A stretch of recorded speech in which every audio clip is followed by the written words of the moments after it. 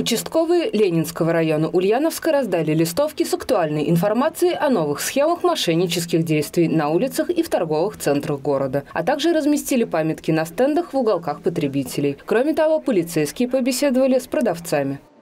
То есть вы обращаетесь либо по номеру 112 и говорите о том, что мне на телефон номер такой-то звонил абонентский номер с номером таким-то, таким-то, и с меня там, ну, я не знаю, просили деньги, просили взять кредит, либо говорили о том, что, допустим, мне необходимо продиктовать задний код от своей сберегательной карточки. Самая популярная мошенническая схема сегодня – перевод денег на безопасный счет. Мошенники, представляясь работниками банковской сферы или правоохранителями, утверждают, что неизвестное лицо от вашего имени оформило кредит. А чтобы уберечь свои деньги, необходимо исчерпать свой кредитный лимит, взять в банках максимально возможную сумму в долг. После этого кредитные средства и все деньги с карты необходимо перевести в так называемую безопасную ячейку, которой является незнакомый банковский счет. Так 92-летнего пенсионера обманули официально аферисты, которые представились сотрудниками ФСБ. Ульяновец отдал мошенникам 220 тысяч рублей. Еще он добавил, ваш телефон находится на прослушке.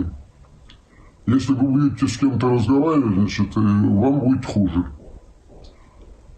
Значит, я поверил этому. Еще одна распространенная схема – игра на бирже, когда интернет-пользователи находят в сети объявления о возможности заработка на виртуальной биржевой платформе. Лжеброкеры уговаривают ульяновцев перевести на свой счет денежные средства, за которые якобы будут куплены ценные бумаги, криптовалюта. В результате потерпевший не может вывести ни вложенные деньги, ни прибыль, которую ему обещали. Часто злоумышленники обманывают своих жертв, говоря, что их родственник якобы попал в ДТП. Жертвами такой мошеннической схемы становятся в основном пожилые люди, с которыми злоумышленники связываются через стационарный телефон и могут держать на проводе часами, чтобы пенсионер не смог связаться со своими родными, а те, в свою очередь, не смогли дозвониться до него. Мошенники забирают денежные средства через прибывшего курьера.